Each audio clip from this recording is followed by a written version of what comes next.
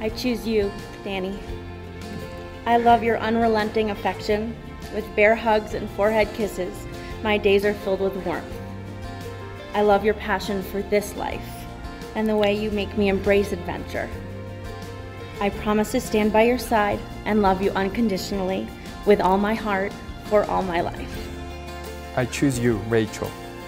I love your wonderful heart and amazing spirit. I have never met anyone with your compassion, love, and devotion.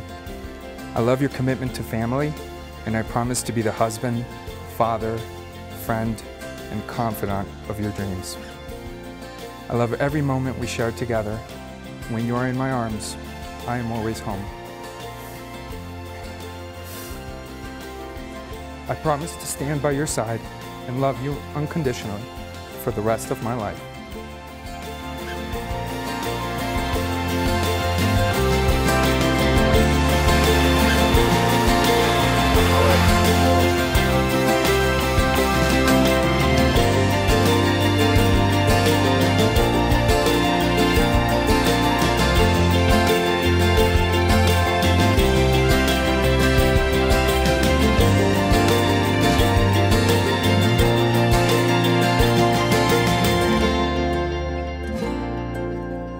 Daniel, son of Mordechai and Asya, and Rachel, daughter of Alan and Nancy, join each other, join each other in marriage before family and friends gathered in Beaver Creek, Colorado, to make a mutual covenant as husband and wife, partners in marriage.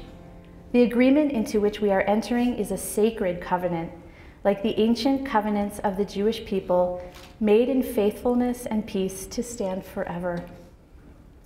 We affirm our commitment to each other as loving and equal partners in life. We promise to celebrate all the passages of life together with joy and devotion. Our home will be a place filled with warmth, light, and compassion, shared freely with all who dwell there. We joyfully enter into this binding covenant of companionship and love. From this day forward, we are one.